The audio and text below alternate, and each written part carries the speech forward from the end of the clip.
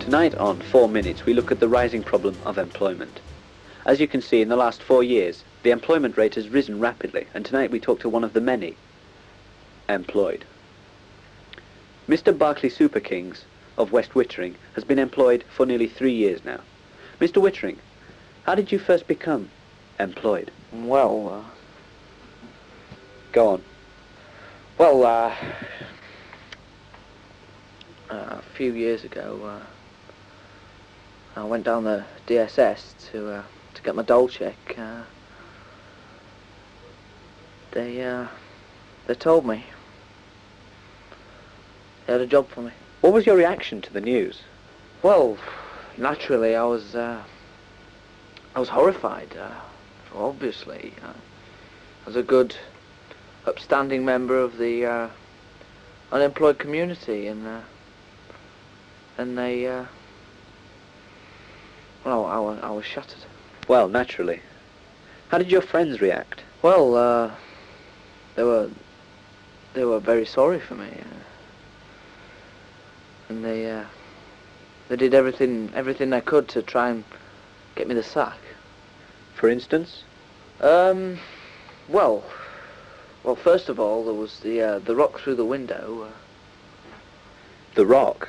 yeah, yeah. Well, you see, had um, this company sucks signed Berkeley Super Kings written on it.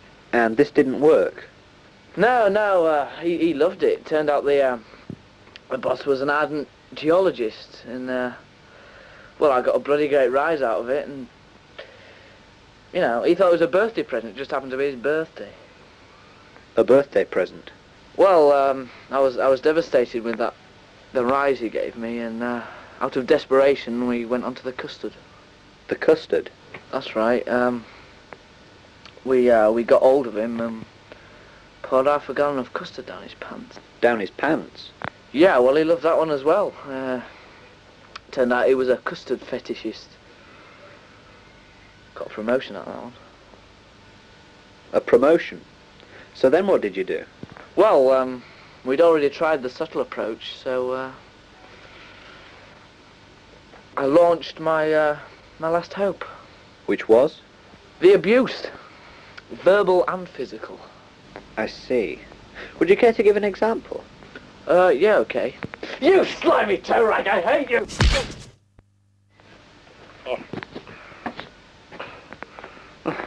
Well, well, quite. There was this other one actually. No, no, no, no, no, no, no. It's, it's all right, it's all right. Oh, it doesn't matter. Oh, God, it's quite all right. Oh, what was his reaction to this? Well, how was I to know he was a raving masochist? He, uh, he, he said he loved a forward kind of man and offered me a partnership.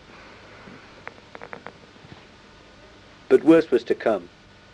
One Friday, he came into work after being there for only a week, and Payday. Payday. Yeah. Yeah. Yeah, well, uh, well, it was the, uh, the ultimate degradation, you know, uh, to be paid for actually doing something, uh, it, it breaks the heart, you know. I felt so guilty. Thank you, Mr. Super Kings. But as you can see, employment has already reached epidemic proportions. But there is light at the end of the tunnel. Government estimates predict that by the year 2010, the employment figures will have reached below 1 million.